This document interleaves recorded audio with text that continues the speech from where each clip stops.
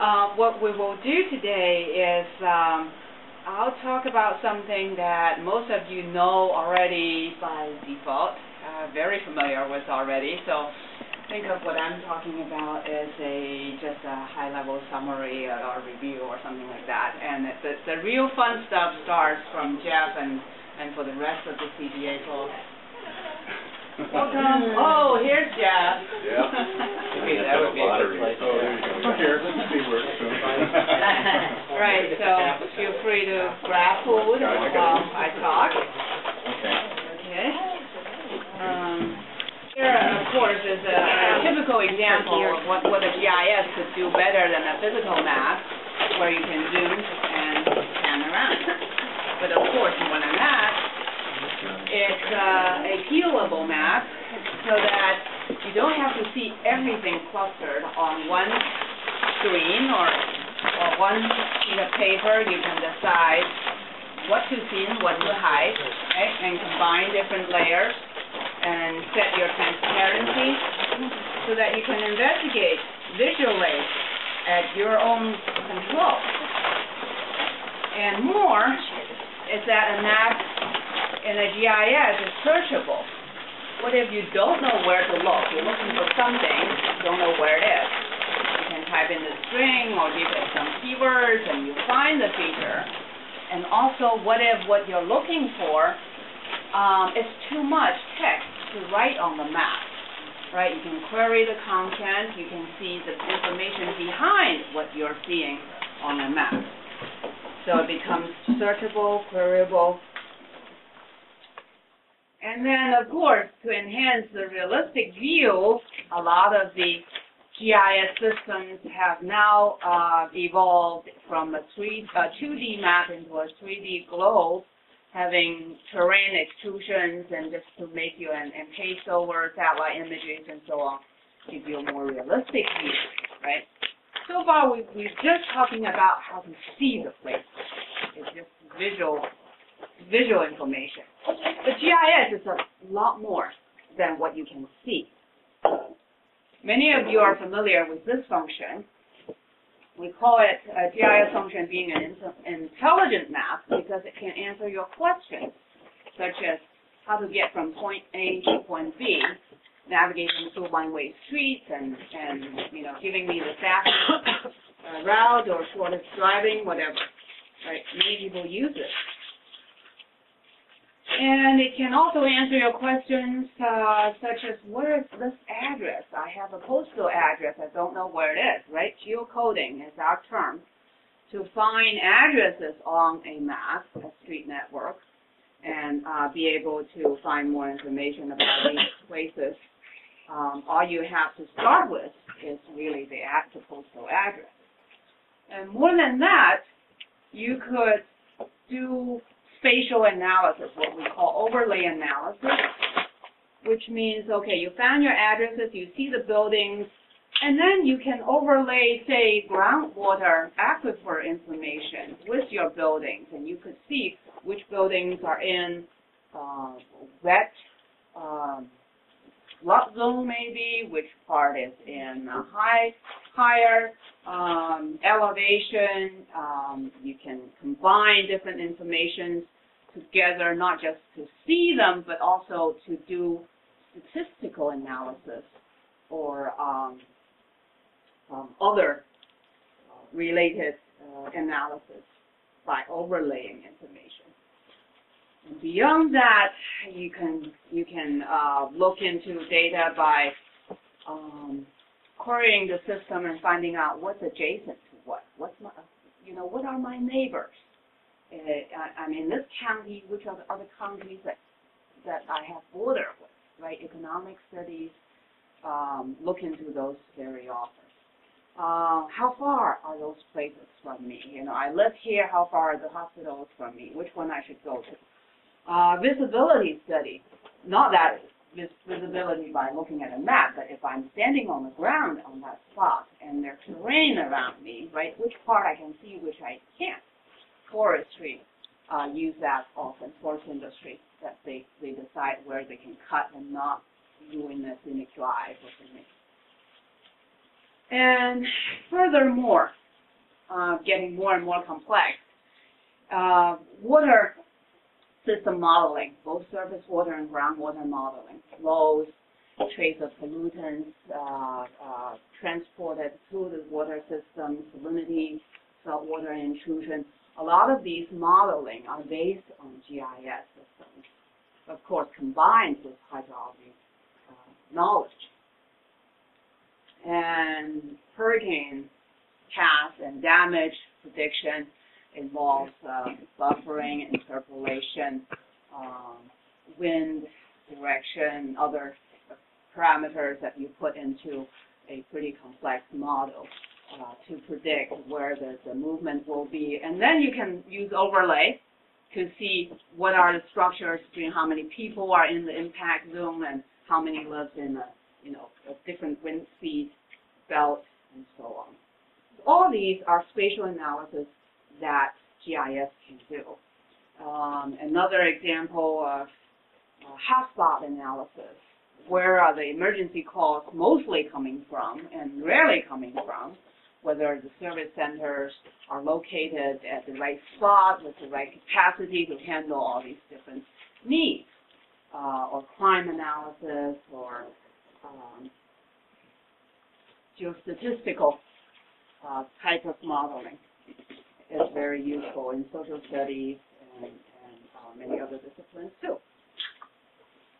So I think I can stop here because there are many, many more applications where location matters. You know, the distance, the uh, spatial relationship, the size, the, um, the position that um, impacts the um, understanding of the phenomenon. And if you go into our, our Center for Geographic Analysis website, uh, home project resume, the first tab, you could see lots of examples of what we have done in the past five years, and, and these guys are, are the ones who did them, um, for different schools, uh, different departments, using different GIS technology. So if you're interested, feel free to browse through the summary there. Um, so, summary of summary. What is GIS? Back to our original question. First, you see a smart interactive functional map, right? That's, that's what you see on the surface. In order to make that map so interactive and, and smart, you need procedures and tools and models to crank out the algorithms and doing um, the modeling. And then in order to do that, you need to have all the appropriate data behind. So almost three layers going inside further, from the visualization piece the analysis piece and then the data management piece. Three components making GIS work. And um, over the years, over the decades, GIS evolved a lot, and there's some new terminology coming almost like GIS is so too old-fashioned. People like to say geospatial, uh, geoinformatics, geotech, location-based technology. All that are sort of kind of GIS, I'd say. Uh, different sectors uh, like use different terms. And it's related to GPS, remote sensing, and the next term is kind of my my choice, uh, geoexploratory systems and some people call it, academics call it new geography, um, to kind of catch the, the, the Google Earth, the virtual Earth, the, um, the social platforms for simple um, interactions of uh, spatial data with the public. And uh, I think I need to speed up further. It all started in the 60s, actually, uh, right around the time that computers are made into civilian academic life, right? Before that, Professor McHarg was doing Mylar transparency maps overlaid on light tables, and that's kind of a GIS without a computer, right, as far as you can go. And the real first com uh, uh, computerized GIS was by um, Roger Tomlinson in, in Canada, who's done a huge um, government job, inventory of natural resources for Canada that the real commercial or general GIS that anybody can use for any project really started at Harvard as a design school. Um, the Harvard Lab for Computer uh, Graphics and, and Spatial Analysis had developed a few generations of GIS systems that was not geared towards just one project like Roger Tomlinson's GIS at the beginning, but uh, given it to a lot of users. And um, going through the decades, a quick, quick summary. Uh, in the in the 60s, GIS just took shape, and um, the census of 1970 is the first year that census was done on a map spatial base.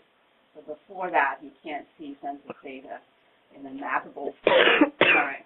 And then some com- commercial companies uh, um, were established later in that decade.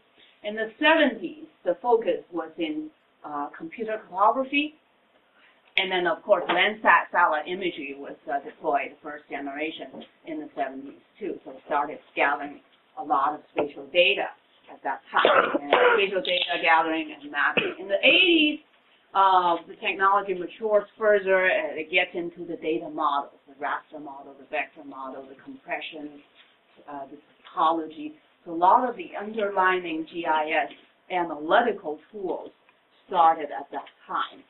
And when it gets to the 90s, uh, the, the, the, the hot topic at that time was numerical modeling, graphic user interface, integration with environmental models, um, and of course GPS system matured in the at that time. And um, the last decade, we see a huge boom of server GIS, embedded GIS, meaning you have an other system, enterprise system, but you have a mapping component embedded inside, not GIS standalone anymore. Web GIS, of course, mobile GIS. All that started in um, the last decade. And now we're starting a new decade. Um, buzzwords out there now, um, this is uh, my personal choice. Correct me if I, I missed something major. I would say volunteer geographic information is one of them. Um, cloud-based GI services, open access, open source, open standard. All these are kind of fueled, made possible by WebGIS, I would say. And that leads, I think, into um, our other presentations about WebGIS. But before I go there, I want to remind people that desktop GIS before was mainframe in the 70s and, and workstation in the 80s, right? Desktop in the 90s and going on. Um, it's still a lot more powerful than WebGIS. You can get the best one nowadays because WebGIS is has a short history, right? Uh, it only started about 10, um, 10, 15 years ago. Um, and it's, it's still changing, evolving almost monthly. And user-driven development, the general public really wants, you know, eye candy, not so much of analytical capabilities. And, and those who does high-end analysis, they have desktop GIS. They do exactly what they want to do anyway. Um, they, they don't rely on the web so much. And then technology limitations, the analytical GIS requires data-heavy, computation-heavy infrastructure. It's, it's still kind of hard to provide all that on the web. Um, and also, um, analysis require unique configuration of your models and advanced knowledge and so on. It's hard to just throw out a tool to the general public and don't give them training and expect them to really uh, uh, can, can, use that. So it's it's gradual the the shift. More and more uh, web GIS can do, but it's not a replacement of the desktop environment yet. With that, all right. Yeah.